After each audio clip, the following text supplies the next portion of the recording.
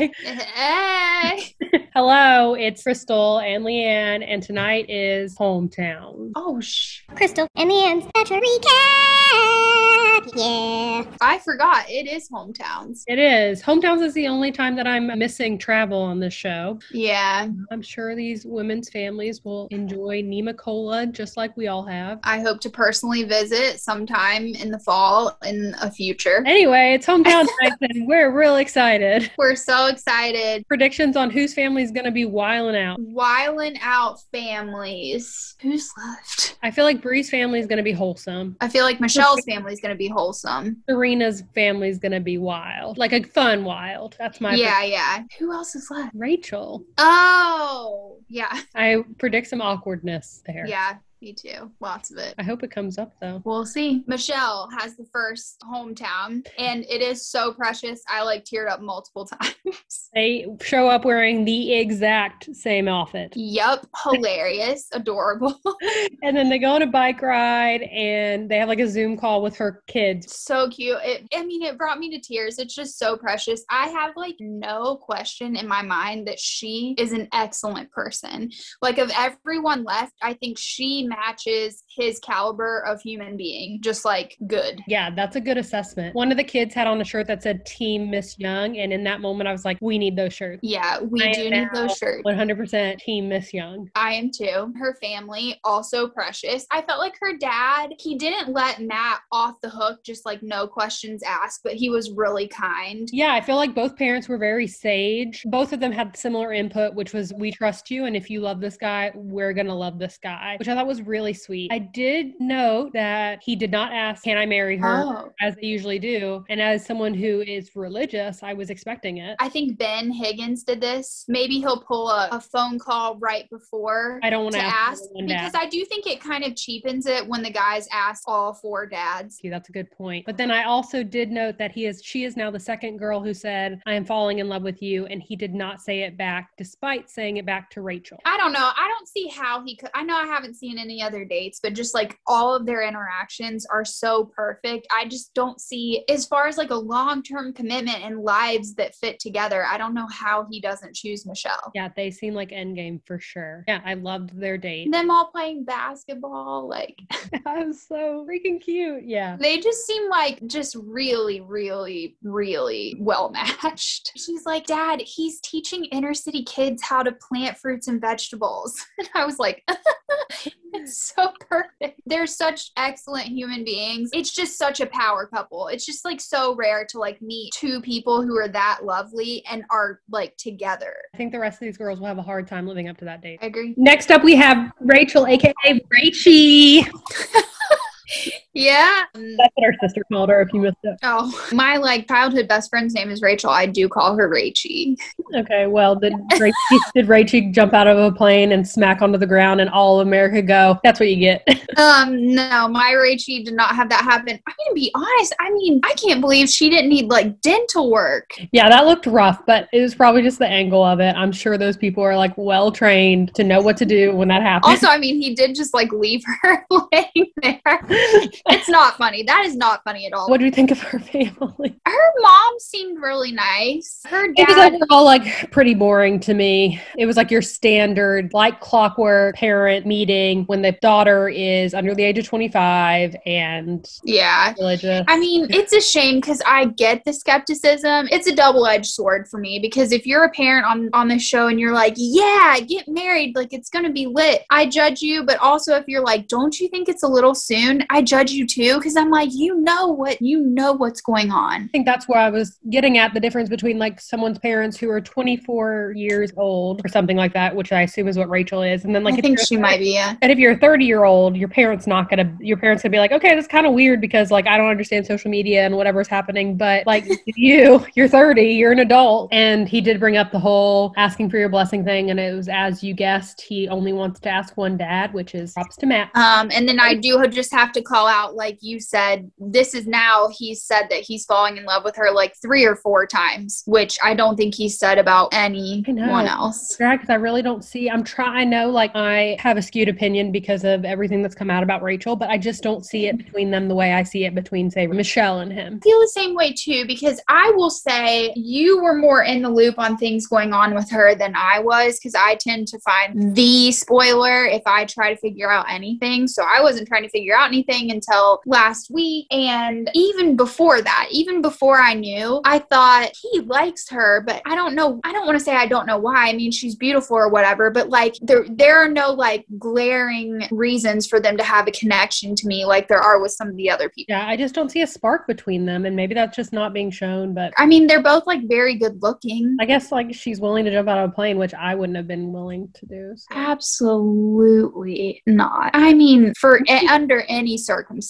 I, I don't know, but it does seem like, according to his words and what has been shown, that she would be in the lead. I would think so too. I'm excited to see Bri's date. I personally don't think Serena. I don't think Serena's like crazy about him, but I I do think Bri is crazy about him, and I hope that we see that he is still crazy about her. You know, she's been so gone for so long. I'm very I know. and I think she's up next. Bri is just so perfect, and I want to be her best friend, and I don't want to see her heart get broken, but I'm scared we're gonna. I know. I'm scared we're gonna too. She is perfect. I'll tell you why I don't want to be her best friend because she's beautiful. And I think that my confidence would really take it from it. I'm just kidding, but she's beautiful. I thought their date was cute. I'm like not into all this extreme sport. Right, they went on like a jeep ride. Yeah, I thought that was that was cute, but uh Well, options are just like limited, probably. yeah, that's true when you're like stuck there. But yeah, she's just she also seems really really nice. Yeah, she seems so genuine and like you could- Yeah. it was really hard for her to say I'm falling in love with you and she quit her job for him and it's like Matt, could you just not say it back? You're starting to make me a little angry. Cuz like he did tell. Oh, sorry. Go ahead. I was going to say the same thing. In both instances, he told the parent with her and Michelle, he told the parent I'm falling in love with her, but he didn't say it to either of the women and they're the ones who need to hear it. Or I guess not if you're going to send it home. Yeah, that's true. I thought her mom was like kind of tough. I appreciated it. She's playing the role of both parents and she wants to make sure that her daughter's going to be safe. But I have a hard time really with all of these things because I just think the process is so antiquated. Like if my parents were like, "Oh, I don't like Matt," I'd be like, "Oh, sorry, I do." like, Like I'm an adult. Bri's younger than I thought too. She's I just looked it up because I was like, she just carries herself so well. Is she like 30? But she's only 24. I'm like not super excited because I, I do think he'll let her go. Maybe even like tonight. No, no. Serena is going home tonight. we shall see. I wish I was recording when Matt called a winter hat a toboggan because I have never loved him more. What do you call a winter hat? I also call them toboggans, which here in Ohio is just like an unheard of thing. Like we do colloquialisms at work a lot because people think it's like hilarious that I'm from West Virginia. And I have always called it a toboggan. And I will And- always call it a toboggan. And a toboggan gets no representation in the winter it hat. It really doesn't. So Matt, No. bless you. Let us know below what you call a winter hat, and if you call it toboggan, you're right. Plus 10 points for Gryffindor if you call it a toboggan. Also, while we're at it, what do you call the rolly thing at the grocery store? It's a buggy. It's a buggy. Period. Had no idea that little Miss Serena was Canadian. Would have loved no idea at all. And I feel like usually they kind of like really make that known. Like if you think back to Vanessa, Kaitlyn Bristowe. Kaitlyn Bristowe. Plus, Mykenna. also you can usually tell she has like no accent at all. Yeah, I love Canada. We named our dog Maple partially because of Canada. So I love that. And I like that she was the only person who made up a date that like had anything to do with her hometown. It was really cute. I'm not crazy about the two of them together, but I do think as far as yeah, I know. I feel like they're both like, you know, goodbye. Like it'll be okay. Yeah, I Um, think they would agree. But I do you. think props to her for picking a date where A, you can talk to each other, and B, he gets a taste of, you know, where he's either about to live or spend his holidays. Nobody we else did that. privately talking about healthcare, Leigh Ann and I earlier, and to me, it's partially like, how could you not pick the girl from Canada and become partially Canadian citizenship? Come on, Matt. But I don't know that Matt's going to have the choice because, as you actually called earlier in the recap, I guess Serena's family also noticed that she might not be totally smitten with him. Yeah, which I I liked her family. I do want to say that her family seemed Yeah. really really nice and they're all like just like insanely good looking, but I will say though, she almost seemed take it was like they told her she didn't like him and she was like, "Oh my god, I'm literally shocked that I don't like him." It was a little was strange. weird. I do think it's kind of like the people that know you best, maybe just like, you know, brought out those concerns that she must have already been having. Um, yeah, like, "Hey, get your head out of the cloud. You're not super into this person." They kind of made the writing on the wall. It looks like Serena might be going home, but I guess we'll see. Her family was definitely Yeah. solid. I would, if I had to pick a family out of the bunch, I'd be like, oh, those, the Canadians. I did love Michelle's family too, but yes, she had a great. I mean, like everybody's family has been pretty good, but definitely I am like golden stars to Michelle's family and Serena's family. Oh, I guess all we have left is a rose ceremony. Seems like a lot There's of like time. so much time left. Yeah. Drama must ensue. A new girl shows up tonight. Matt decides to spend some more time with Serena, at After- which point Being the contestant who has had two one on one, which is crazy. it is crazy. And I felt like what he said was like super just eloquent. He said, I have spent the most time with you, and that's been intentional. And so it makes what she does even harder to watch. Which is basically like, bye. I mean, I felt like she was really nice about it, and I really can't knock anyone for for doing that. Like, obviously, don't go through with such a huge life changing thing if you're not feeling it. And I know some people will say, "Well, she should have figured it out beforehand," but I think most of us have been in life situations or relationship situations where we feel one way about it until the stakes are really high, and then we're like, "Oh crap, no, actually." Yeah, but on the flip side of that, I feel like Matt only really showed that he was into her because she was leaving. I feel like had she stayed, she still might have gone home, and it was like her leaving that made him think, "Oh my God, wait, I really have feelings for her." Yeah, I think that that high stakes work unfortunately opposite for them. Yeah, Like I think she was like, "Oh crap, I'm maybe not as into him as I should be," and he was like, "Oh crap, I'm way more into her than I thought I was." And I thought for a moment in his silence after she said, "You're not my person," he had kind of like like a devious smile, and I was like, "Oh my gosh, we're gonna see him snap right now." But it looked like he really like counted backwards from ten, Deep breath. pulled it together. I mean, he cried over it, so she Yeah. really meant a lot to him. And then the rose ceremony was just, you know, had to do it. I guess. get a rose, you get a rose, you get a Everyone rose. gets a rose. So yeah, Serena left, and it was, you know, the writing was on the wall the whole episode anyway. But Bri, Michelle, and Rachael will go on to Fantasy Suite. Yes, they will. And I mean, so is next week Women Tell All? That's what it sounded like. First, we get a woman tell all, and then we have Fantasy Suite. Okay, so we still have like a few weeks left. Yeah, so three weeks left. Guessing Women Tell All is going to be one to tune in for, guys, and we'll be here to tell you what we think about it. Yeah, it looks like it's going to be wild. I mean, there's no way it couldn't be. Like, they're so mean.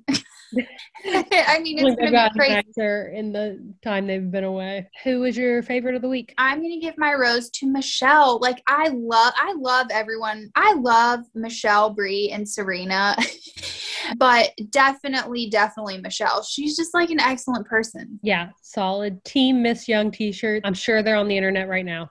Find them on Etsy. My He Loves Me Not Rose goes to Rachael. Probably I Rachael. I mean, it's just hard not to give it to her at this point. Take it all apart, take it all, separate it. Only this episode. I just don't like her vibe. And I haven't liked her vibe from the beginning, even before I knew any whisper about her. Well, I mean, I can't say that, but I would say if I even take out all the ways I'm feeling about her, I do think she kind of squandered an opportunity to have some time together. Like, I think what they did was obviously that's cool. Obviously, it's once in a lifetime, but you guys were in a noisy helicopter. You didn't even get to talk to each other. Like, just time is so precious. Yeah. Get to know each other. You make a good point. Yeah, All right. Well, we can't wait for Woman Tell All. that we can. Matt's beard, I cannot. Cannot either. Okay, maybe for a movie part or something. Oh, yeah, maybe. Until next week, roll Ah. Tide.